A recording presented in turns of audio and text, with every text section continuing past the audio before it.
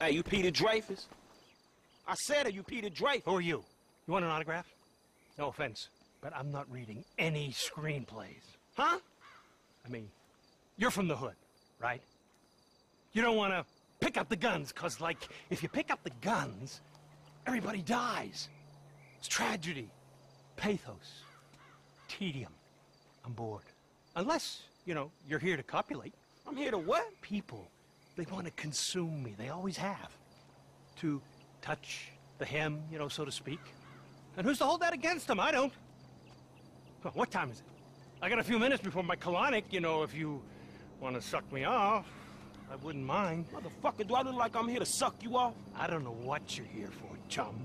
You're like some barely credible deus ex machina sent here by random chance in order to challenge my impending divinity.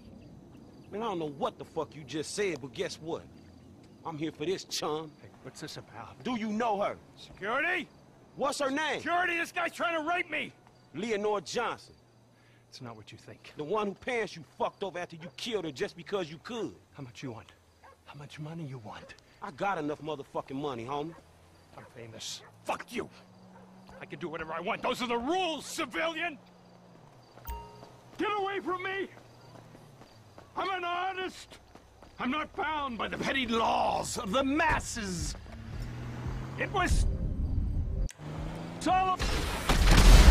Say hello to Leonora, motherfucker.